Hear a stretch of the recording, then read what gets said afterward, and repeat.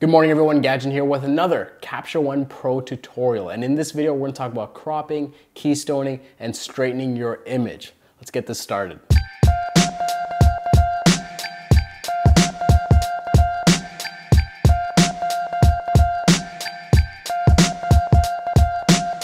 Welcome back everyone, and if you don't know by now, I'm doing this Capture One Pro bootcamp so you guys are armed with all the information you need to not only get started with Capture One Pro, to really be proficient with it and to be confident in using it because I believe this is still the best raw processor available on the market right now, especially if you're a Fuji or even a Sony user. I think this is the best way to go. Now, in this tutorial, very simple. Well, it could be very simple. I'm gonna hopefully make it very simple for you. We're gonna talk about cropping your image, straightening your image, and keystoning your image. So let's go ahead and take a look. We have our image here. If you hit C on your keyboard, it'll actually activate the crop tool. And from here, pretty standard, you can draw your crop you can pick the corners here and adjust your crop and you can choose it to your liking and build it how you want to build it. Now from here, you can change the ratio. So you can go square for Instagram. If you want to go something cinematic, you can even do 16 by 9 for example, right? If you want to go that route. And I hit H on my keyboard to switch to the hand tool. It'll also activate the crop and it'll show you what it looks like. You can also go unconstrained. So if you actually want to go back to C, you can adjust it to however you want to adjust it. Um, you can add your own aspect ratios. You can remove the aspect ratios. You can go with the original, how your camera actually shot the image. Let's go with two by three, how the image was actually shot. Get the crop to a place where we like it and uh, there's our image. Now we can also straighten our image right here. So in here on our toolbar, you can click it to activate or you can hit R to activate this tool. Now if you click and hold, your straighten tool can be changed to rotate, rotate left, rotate right, or freehand, depending on what you wanted. And it's mapped to the R key. So for example, we hit R to activate the straighten tool. If you have it set up for something else, you can map it to rotate, for example.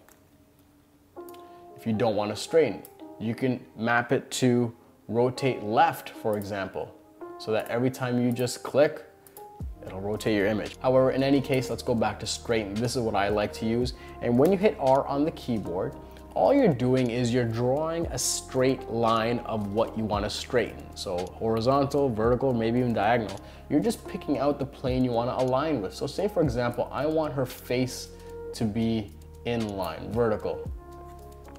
There you have it.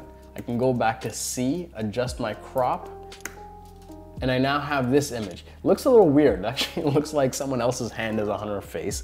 Uh, we're gonna go ahead and reset the image right now.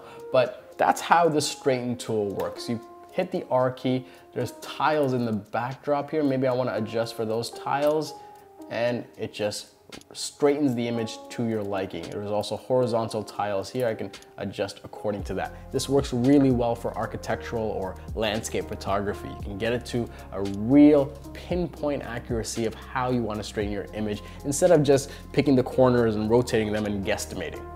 Now you also have the ability to keystone an image. And what this is actually doing is, if I can translate it, skewing the image either horizontally or vertically, depending on your subject matter, to get it to a place that is visually pleasing. If you're shooting a lot of buildings, for example, and you're at the bottom and you shoot up and all of a sudden the building looks like it's going away from you, if you have enough resolution in your camera especially, you can keystone the top of that image and skew it pulling it outward and it's using that extra resolution to straighten that building towards you. So keystoning can be really useful, especially when you're working with models, depending on how you shot it. You can use it very sparingly to just finish an image just a little bit. So how does this actually work? You go to your keystone tool, you have your vertical, horizontal, the amount, and the aspect. When you're working with images, generally vertical and horizontal is what you're gonna play with just to see if it works out for the image that you're working with. Now you can even get even more granular if you select the horizontal or vertical activation tools here. You can actually line it up to say, for example, where your model actually is, and then after you've set these guidelines, go into your vertical keystone and adjust accordingly. And it'll use those guidelines as sort of that framing to use your keystone effect. So this is what the image looked like before, a little bit wide, and with our keystone, it just slims the image a little bit and pulls it down, pulls that jawline down. Just a minute adjustment. If you didn't see this happening, you probably wouldn't recognize it. It would seem natural to you.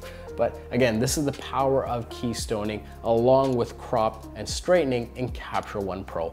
Between these three tools, you can get a lot of composition work done inside Capture One Pro at a very granular level and ultimately bring the most out of your image. Thank you so much for watching again and please let me know what you think. Are you enjoying these Capture One Pro tutorials? Is there something you'd like to see specifically? Let me know in the comments below. And if you're interested in starting Capture One, you can start your free trial today. The link is in the description. And more importantly, if you wanna support this channel and my work, please do consider using my code. It's my first name, Gajan, and that'll actually directly support this channel if you're interested in purchasing Capture One. Thank you so much for watching, and I'll see you next time.